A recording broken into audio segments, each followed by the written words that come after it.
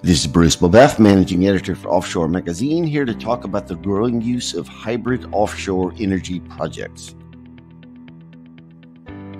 Offshore wind energy developers are looking to solar technology to enhance the reliability of their renewable energy projects.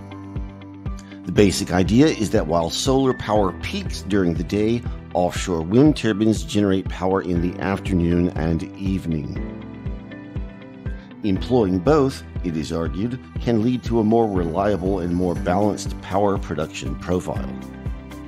The use of floating solar technology also allows for a more efficient use of ocean space for power generation. The first offshore combined solar wind energy system was recently commissioned off the coast of Haiyang in eastern China. The pilot project is said to feature the world's first commercial floating solar system paired with an offshore wind turbine. If the pilot project is successful, the plan is to build a 20 megawatt floating wind solar farm system in 2023. Meanwhile, another hybrid power project is taking shape offshore Europe.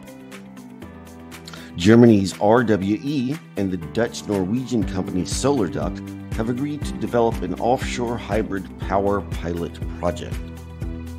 The Merganser project will feature floating solar and offshore wind facilities in the Belgian North Sea.